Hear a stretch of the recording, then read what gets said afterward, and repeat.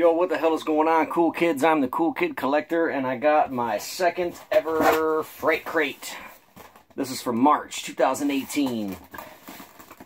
I, am going to try to make this super quick.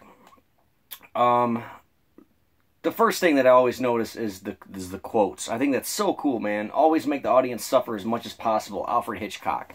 I think that's very clever and a very unique thing that they do might seem stupid to you, even though it's just a sticker on the outside of the box and it gets thrown away. I think I, just love seeing it. It's cool. Uh, this is my second one ever. Uh, I ditched all the other uh, mystery boxes. Uh, this is the company that I'm going to go with from now on. So I'm excited to get this. The first thing I have, I already opened this up earlier. I wasn't even going to do an unboxing video because I'm always so damn late to the party. But that's okay. I like to make an entrance. This t-shirt is the coolest fucking t-shirt I own right now. This is by far my favorite t-shirt and I have hundreds of fucking t-shirts and they're all the same color. But I love how it says 10 cents up here. It just gives you the old uh, vintage feel of like a comic book or a old magazine. But I, I fucking love this shirt. This is such a kick-ass t-shirt, man. I love it. It's my new favorite shirt. I absolutely love it. Love Tales from the Crypt. I used to watch it with my dad. Um, there's a book right here called Nightmares Unhinged 20 Tales of Terror. I'm not much of a reader. In my free time, I don't like to read. Um, I hang out with my kids, and when they go to bed, I hang out and listen to music. So I probably won't get into this, but my wife was really excited to see this, and I'm going to give this to her, and she's going to read it.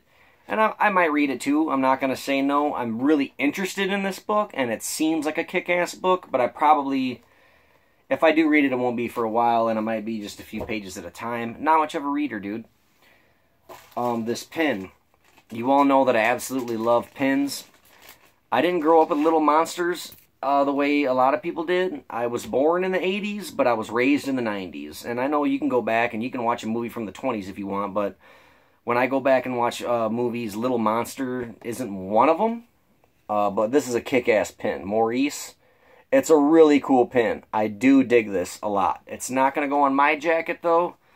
I'm going to give this to my brother, but don't tell him. Another thing um, is this patch. Uh, it's a like a, a replica, I guess you could say, um, of Maurice's patch. I think that's cool. I'm going to give these to my brother, and I'm sure that he will put these on his riding vest. Um, he's got lots of cool pins and patches that I've given him. I'm sure he's really going to dig that because he's older than me and he's actually the person who showed me the movie Little Monsters. So I think that he's, I think that he will dig these, and I'm I'm definitely going to give these to him, and I think he'll like it. Uh, the Cereal Resin Company, Darren Mitchell and Jay Stevens. This is like an exclusive uh, company that they started. I think, if I'm wrong, let me know. But people flip out over these figures, and I've seen some really kick-ass ones. To me, in my opinion, I don't like it only because I, I don't I don't mean to diss anybody's work, man. If you guys put hard work into this thing, then be proud of it. Don't let me fucking ruin your fucking your your thing, you know what I mean? Which I know you won't anyway. I know it won't hurt your feelings. I just want to give my honest opinion. The only reason why I don't like it, I love Cujo and all, but it just reminds me of like a knickknack that you can get from the dollar store because you can go pretty much anywhere and buy a Rottweiler one, a Schnauzer one, a Poodle one, a Yorkshire Terrier one, whatever you want and you can buy one of these and you can paint red on it. So I don't really like it. I, I'm not interested in it. But I'm not going to let it take away from the coolness of it. That the fact that somebody made this. I hope you guys made it. I hope you didn't just go out and buy a bunch of fucking St. Bernard or whatever the fuck he was and, and painted red on him. I hope you didn't do that. But if you did, whatever. Either way. Um, it's a Cujo, Cujo resin figure my son saw it and he really liked it and he, he made him and his, his werewolf play with it. So I'm probably going to give this to my son so he can play with his werewolf and make him fight. Um, the autograph I think is funny. I think it's Tim Capillo. Capello. It could be Capello, but I know in Spanish when there's two L's it's usually a Y sound, like Castle is Castillo. But anyway, it's the saxophone player in Lost Boys. And it's funny because, like, for as little time that the man had on screen, everybody remembers a saxophone player. You know what I mean? So it's funny, and I would be a big fan of this if David wasn't in it.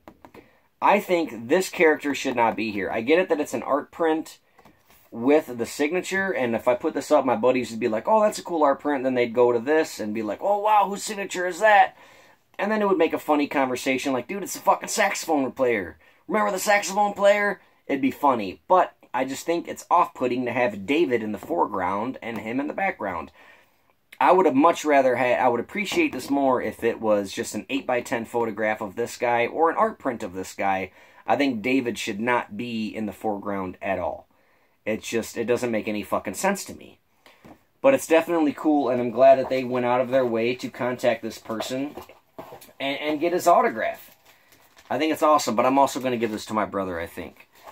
Um, but that is the Fright Crate. I want to do it quick because, uh, like I said, I'm late. But um, I am not going anywhere, Fright Crate. I will be here un until the long haul or until I'm absolutely devastated and sick of the shit the way I was with all these other boxes. Except Horror Block. Bring Horror Block back, God damn it.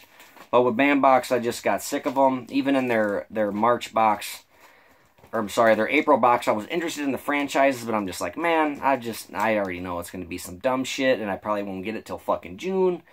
They don't even know when their March boxes are shipping out, but it's not about them. This is about Fright Crate. I love Fright Crate. This is only my second box, and I'm going to keep coming back to them. These guys are on point with their shipping. When they fucking tell you they're gonna you're gonna get it, this is when you're gonna get it. And I, I I'm not a fucking whiner about having late shit. I understand that shit can be late, but one cool thing about these dudes is I've never heard anybody complain about them being late. And like I said, it doesn't matter if they're late. To me, it's all about the anticipation of getting the product, and then when I get it, I can't wait to open it. And even if I don't like everything in the box, it was still fun to do, and it was still fun to show you guys. This shirt is fucking awesome. I feel like I paid $40 for a shirt and some gifts. So I'm happy with this box, and I can't wait to get my April one. Uh, come visit me in the Cool Kid Collector Club on Facebook. I will see you guys later.